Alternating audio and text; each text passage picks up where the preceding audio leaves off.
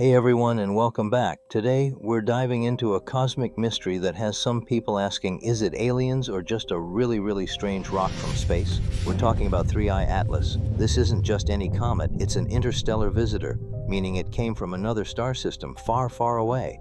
When it showed up, scientists got super excited and a little puzzled. See, 3I Atlas did some weird stuff. It had a reverse tail, meaning it glowed from the front, not the back, which is super unusual.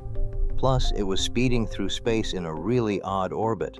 And later, it broke into a bunch of smaller pieces, like a cosmic puzzle falling apart. Now, most scientists, like those at NASA, say these odd behaviors, though rare, can still be explained naturally. They think 3I Atlas is just a very unique kind of comet, maybe made of different stuff than our local comets because it formed around another star. When it broke apart, that was a big clue for them. Comets often shatter when they get too close to our sun. But then there's the other idea, led by a professor named Avi Loeb. He argues that all these strange clues together might mean something more. He suggests maybe, just maybe, it wasn't a natural comet at all, but some kind of alien technology, a probe or a piece of an alien spaceship. Host, so what's the deal? Is it an alien message in a bottle or just a really wild natural wonder?